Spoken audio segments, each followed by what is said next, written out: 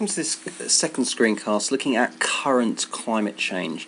And if you think back to the graph from the previous one, we're interested, this is really explain, seeking to explain the last kind of hundred years, and it's understanding the modern reasons for climate change occurring. So, what have we got? Well, we've got the basic concepts, and the first concept is this, is that we are changing the levels of atmospheric gases. Uh, we're changing two in particular, carbon dioxide and methane. And what these do is trap heat in by absorbing long wave radiation. Now, we need these naturally to actually keep us warm. The problem is, as we thicken those layers, we're actually trapping more heat in, and the shortwave radiation isn't getting out of the atmosphere, and as a consequence, we should be getting we will be getting warmer. Okay, the natural greenhouse effect is important. Natural greenhouse effect is what keeps us warm naturally, whereas it is the enhanced greenhouse effect, which is what is the process which is actually causing us to heat up more quickly in recent years. So there's two reasons for this.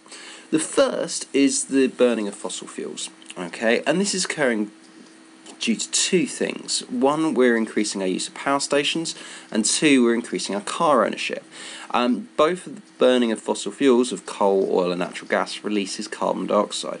And you can see a couple of things. Power generation accounts for 25% of all global carbon dioxide, and in China, 75% of their energy comes from coal, which is a very dirty fuel and releases more higher, higher levels of carbon dioxide. Um, another example below, you've got car ownership. In Delhi, car ownership's gone in from 1970 of half a million to 5 million in 2008. And as the world's population goes up, car ownership and our power demands are going to go up with it. So we're to, therefore we're going to release more carbon dioxide. The second factor is methane. And methane makes up 20% of all greenhouse gases. And there's a couple of things here. Number one, every time we mine in the ground, we are actually releasing methane because the ground actually traps something called fossil methane. And mining accounts for 30% of all methane released. The second thing is the fact that as our global population goes up, our food production is going up with it. Now, food production uh, leads to two things. Number one, growing more meat, which leads to uh, increased uh, methane output due to the farming of more cattle.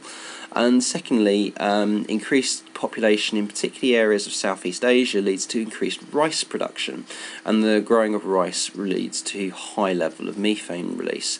And so you've got these two main problems which are causing uh, like more recent climate change. Now let's have a look at an exam question. Outline how fossil fuels have caused the increase in CO2 emissions. Pause the video and have a crack at answering that, please.